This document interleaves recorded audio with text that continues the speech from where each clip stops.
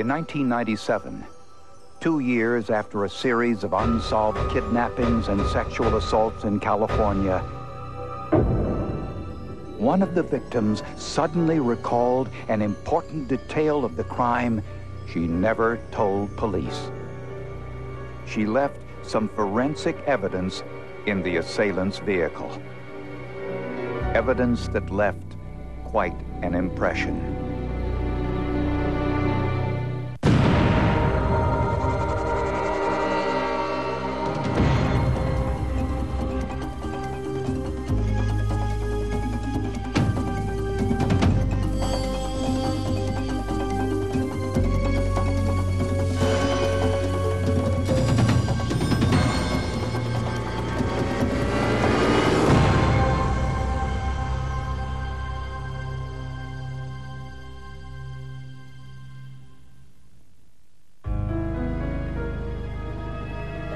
Nestled at the base of the magnificent Sierra Nevada range, Visalia, California received unwanted publicity in 1995. A serial rapist was stalking young women, sometimes striking in broad daylight. All of the descriptions of the assailant were similar, but not identical. This woman was the first victim whom we'll call Maria. I was 16 years old trying to keep up my grades and do good in school. On July 14, 1995, as Maria was about to walk into her apartment, she stayed outside for a moment to smoke a cigarette. Just as she lit the match, a stranger appeared. He pointed a gun at her, ordered her to get into the vehicle, um, told her if she did not, he would kill her. The man admitted being high on methamphetamines. He drove her to a deserted field, assaulted her, then let her go. At the hospital, a rape test kit did not recover any biological material suitable for DNA testing. Maria described her attacker as a young white male with curly hair about six feet tall. His weapon was a semi-automatic pistol. That face never leaves your mind. Never. You just feel sad, betrayed, hurt, angry. You get mad. You just go through a lot of pain. Maria said the assailant drove a blue or gray pickup truck. Police found a tire impression near the crime scene. They photographed it and made a mold of the impression. Ten days later, there was another incident. A 33-year-old woman parked in a local shopping center was accosted by a young white male in a white Ford Bronco. Hand over your purse. Now. I'm gonna enjoy giving it to you. Oh, you creep! She challenged him verbally, and he fled.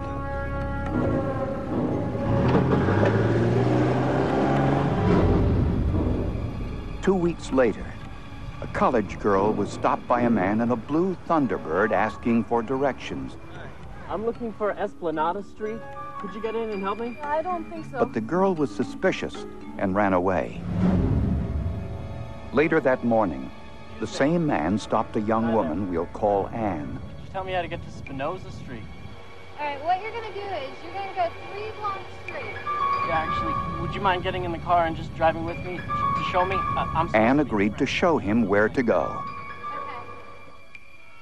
To look at him, he was the type of guy who you could imagine luring the girls in a car because he looked relatively clean-cut, was relatively soft-spoken. Uh, he had a nice vehicle. Along the way, he stopped behind a dairy barn saying he needed to get some fresh air.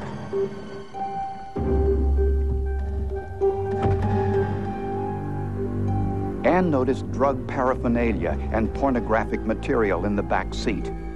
The pornography depicted degradation and violence towards women. Now, fearing for her safety, she decided to run away. When she opened the door, the man put a gun to her head. He tied her hands, hit her in the head, and assaulted her. Eventually, he allowed her to go. and she ran over a mile and a half for help. This is 911. Do you have an emergency? Well, is that uh, girl came here naked. Somebody had done things to her. She's over here at the house. Okay. She showed up naked? Yes. Anne described the assault as particularly demeaning. He just proceeded to spit. And while he was doing that, he said he hated girls. They were nothing but bitches. And he told me that I was a bitch. He was just calling me bitch. And he was hitting me while he was doing it. This guy was particularly brutal, particularly demeaning to the women that he was assaulting. And that was consistent with all three of the cases. At the crime scene, police found shoe impressions, possibly those of the assailant. Anne said the weapon was a semi-automatic pistol, the same type of gun used in Maria's assault. The victims each described the attacker's physical appearance differently. And if it was the same man, police questioned why he drove a different vehicle to each crime.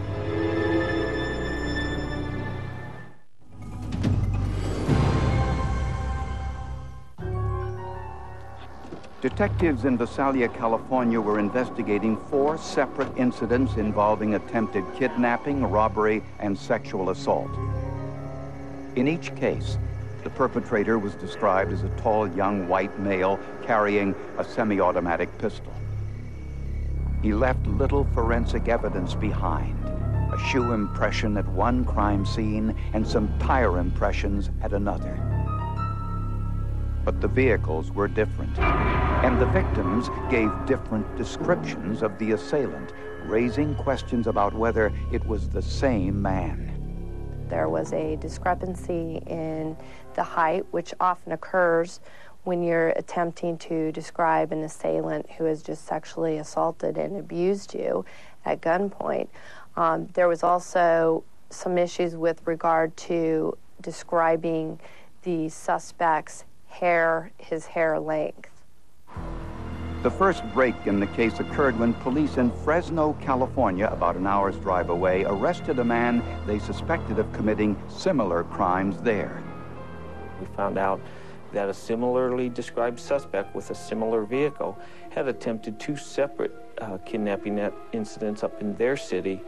Um, later in the day, actually the same day that uh, our victim here in town was confronted. To see if this was the same man assaulting women in Visalia, police showed the victim, Maria, a photographic lineup that included the Fresno suspect.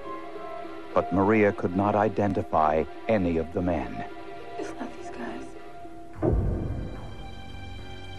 Next, police showed the lineup to Anne. Yeah, that's him. I'm pretty sure that that's him. We placed that photo lineup in front of uh, our one victim, and she positively identified him. Now, Visalia police were convinced they had their man. But there was a problem. In their initial interviews with police, both Maria and Anne described their attacker as having very little chest hair. The Fresno suspect had a lot of chest hair and his shoe size did not match the shoe impression found at the crime scene. Police doubted the Fresno man was their perpetrator. Their suspicions were confirmed a few days later when the crimes in Visalia started all over again.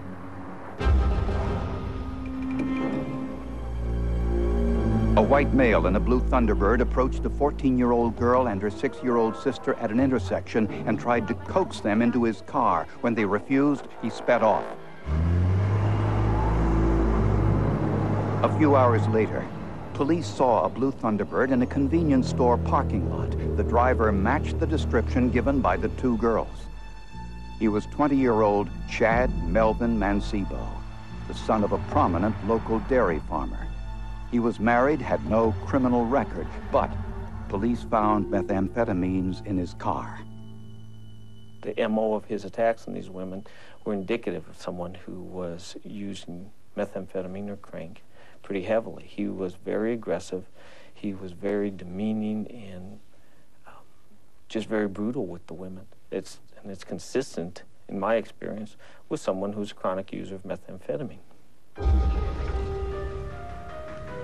I know you've done this before, Maria. I need you to take a look. In a photographic lineup, Maria positively identified Mancebo as the man who assaulted her. She was visibly shaken. She began crying, as I recall, and was quite, obviously quite upset, and I'm sure I brought back the memories of that day when she was in fact kidnapped and brutally raped. But Maria said her assailant's vehicle was a pickup truck, not a sedan. Police found no evidence Mancebo had ever owned a pickup truck. Yeah, I also had um, my agency check for vehicles that were had been stolen in the last month, matching that description as well, and everything came back negative. I couldn't get a lead on anything. In Mancebo's home, police found a pair of tennis shoes. When forensic analysts compared Mancebo's shoes to the footwear impressions found at one of the crime scenes, the results were inconclusive. Anne also identified Mancebo as her assailant from a photographic lineup, but she had identified another man just a few weeks earlier. Sure. Because of these inconsistencies, prosecutors wanted more than just eyewitness identification. They were hoping for scientific evidence.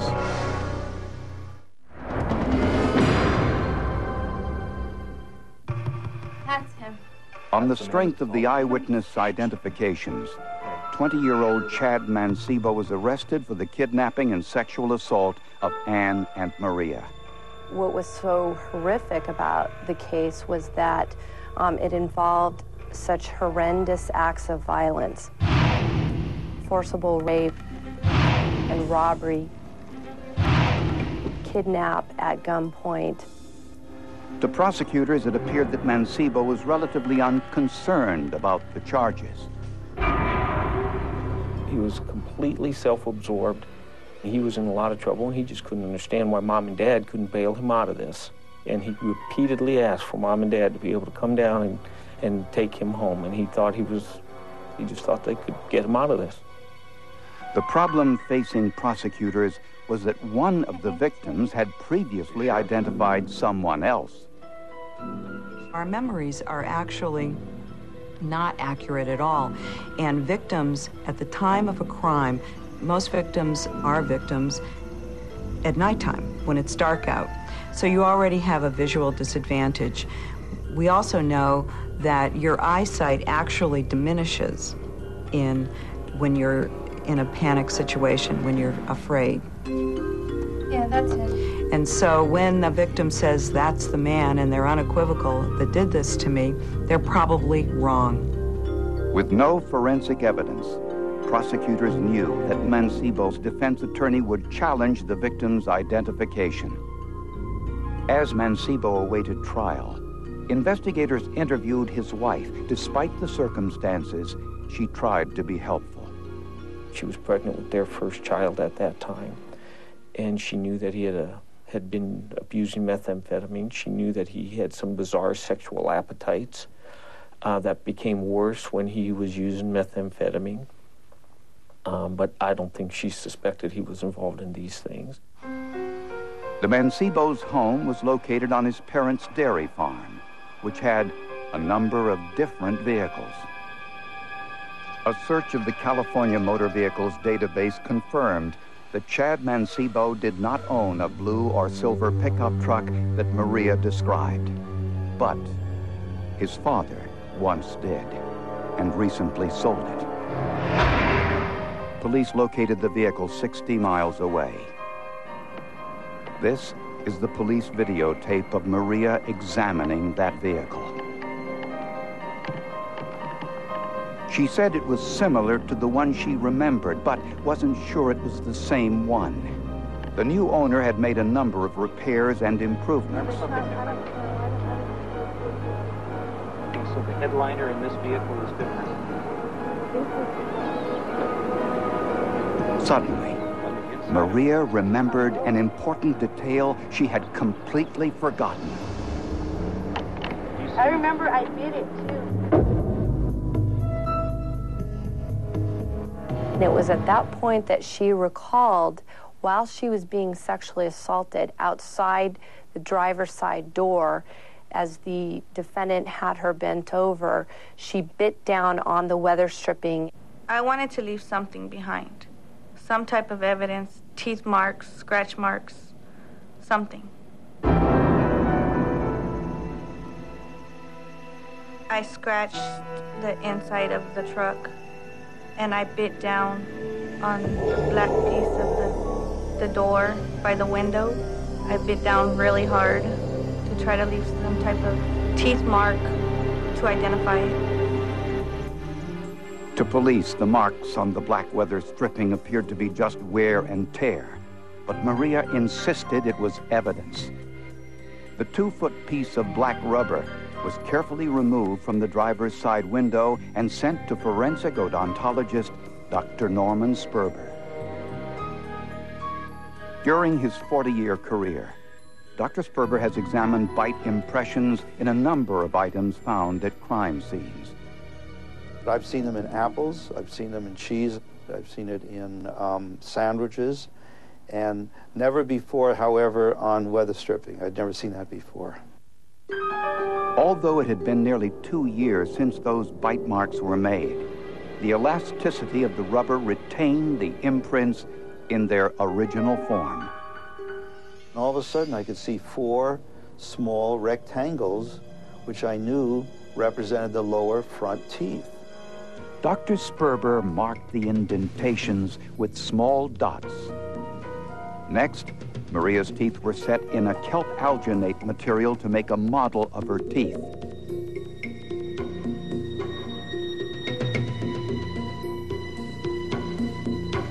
When Dr. Sperber compared Maria's dental impressions to the bite marks in the weather stripping, he discovered a clear match. On the weather stripping, I noticed that uh, one of the teeth was sticking out, the right front tooth. The victim's teeth, I noticed the same tooth, that right front tooth is sticking out. Every tooth just fit precisely. I'd never really seen a match quite so good on uh, inanimate object before. Despite the fact that two years had passed, despite the alterations to the car made by the new owner, police could now prove Maria had been inside that vehicle. It was not a crime about sex.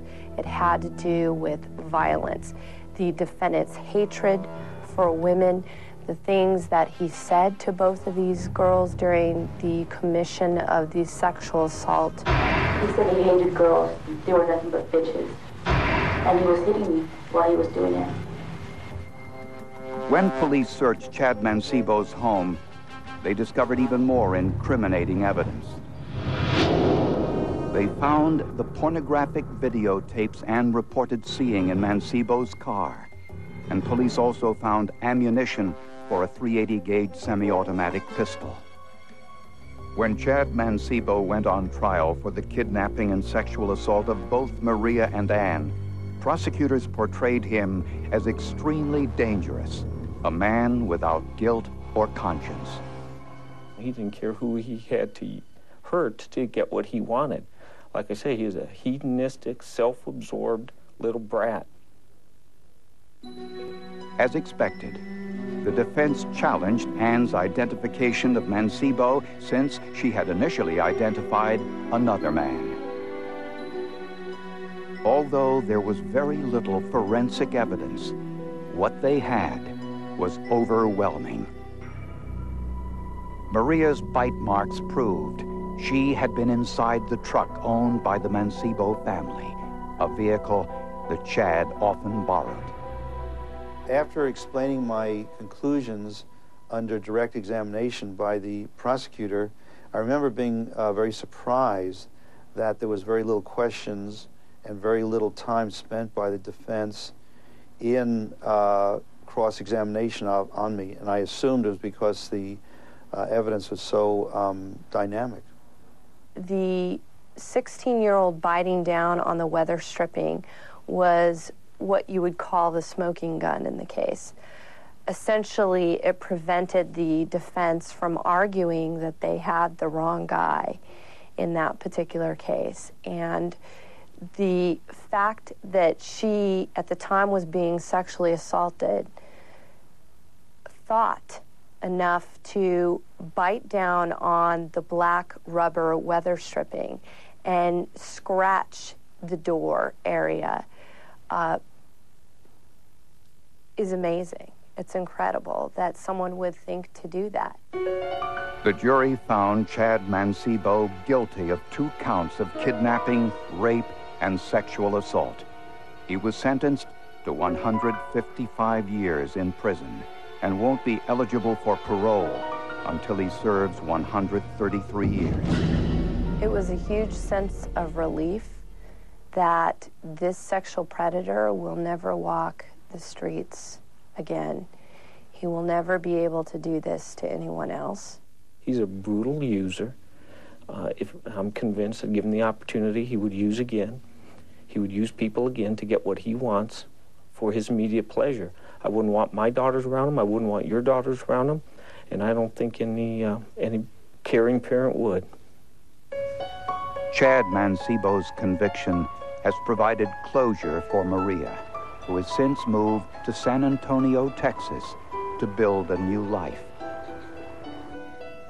Without her bite impressions in the rubber on that pickup truck, prosecutors might not have been able to make their case.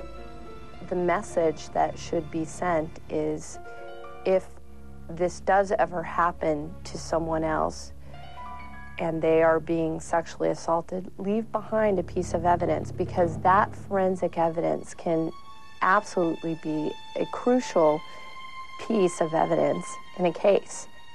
I didn't want anybody going through what I went through by him. And now I'm I, satisfied with myself because I know that will never happen to anybody else by him.